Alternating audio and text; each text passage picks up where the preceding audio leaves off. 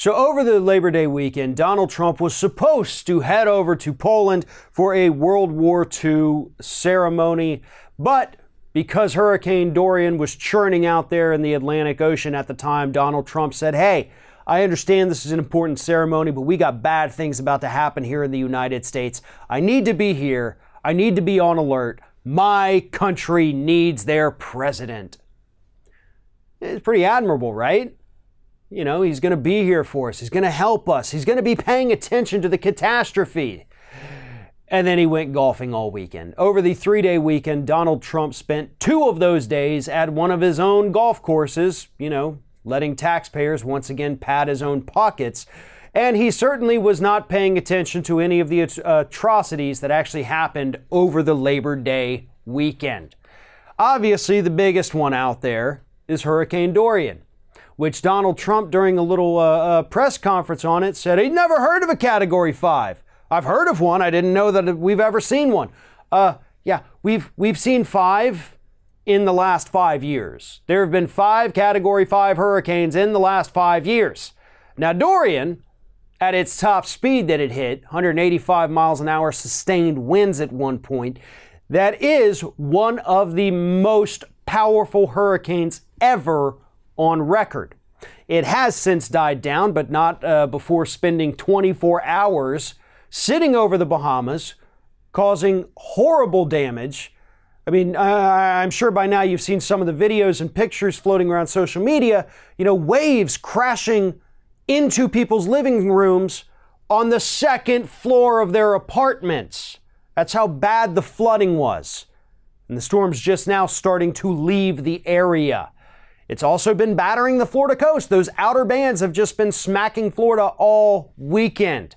And of course, it's now going to head up. Maybe it'll hit Georgia, maybe South Carolina, maybe even further north.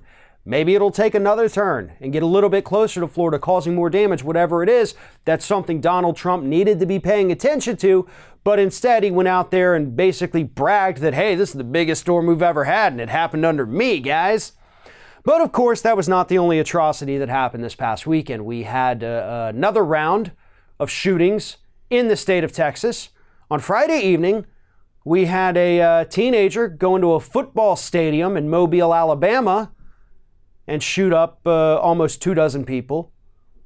And then, of course, we had the uh, deadly dive boat fire off the coast of California. Essentially, a weekend of catastrophes, a weekend of atrocities. And what does Donald Trump do? He goes and plays golf. You know, these atrocities, or at least Dorian itself, was, was too intense, too threatening for Donald Trump to make the trip over to Poland, but certainly not too threatening for him to go spend the weekend on his own golf course. And this is a man who, let's not forget, used to complain that Barack Obama golfed too much. Fox News used to complain on a weekly basis that Barack Obama golfed too much. Donald Trump has now golfed in office more than any other president in the history of the United States. And he's only been in office for two and a half years. And he already holds that record. This man doesn't care. He doesn't care about what's happening in this country. He's not going to do anything to make sure that our first responders are ready to go when this hurricane finally smacks the United States. He's not doing anything about the issue of gun control.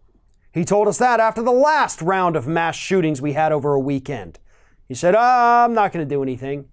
Eh, there's no need to mess with it right now. And then, wow, look what happened.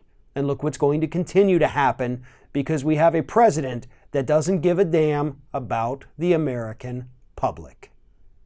Thanks for watching, everybody. And don't forget, if you like what you see here, like, comment, share, and subscribe to our channel. And now you can also become a member of Ring of Fire and get exclusive early access to certain Ring of Fire videos all throughout the week. Just click on the little join button right below the video.